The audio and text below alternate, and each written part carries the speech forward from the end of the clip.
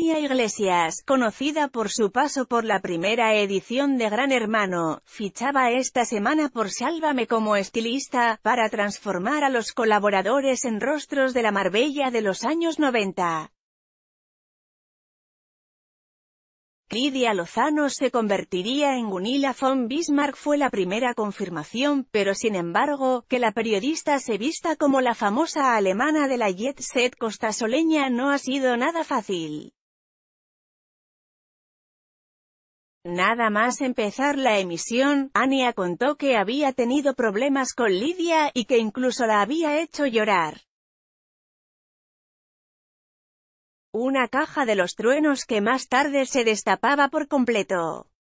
Todo comenzó por el hecho de que Lidia no entendía por qué debía llevar un look con el que no se sentía cómoda en el especial de Marbella.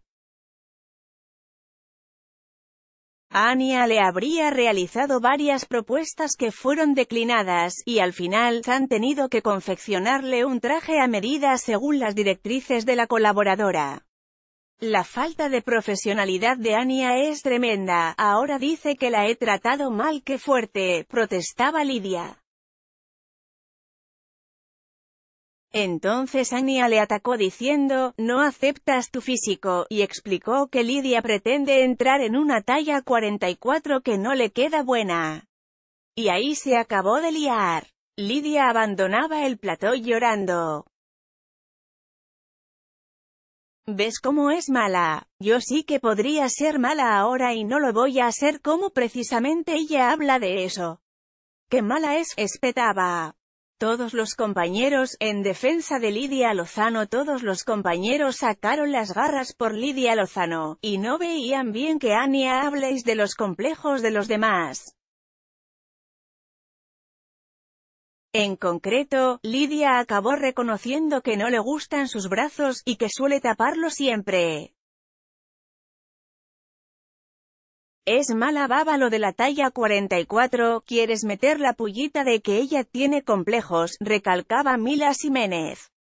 Carlota Corredera también defendió que los complejos de cada cual deben quedar en privado, y Gema López le dijo a Ania que ella que ha tenido problemas de salud por trastornos alimenticios que tuviese más cuidado. ¿No tiene complejos en esta vida? preguntaba Ania, con lágrimas en los ojos. La pelea emborronó la diversión planeada alrededor del especial de Marbella de Sálvame. Sin embargo, generó buenos minutos de contenido, que fueron muy comentados en las redes sociales.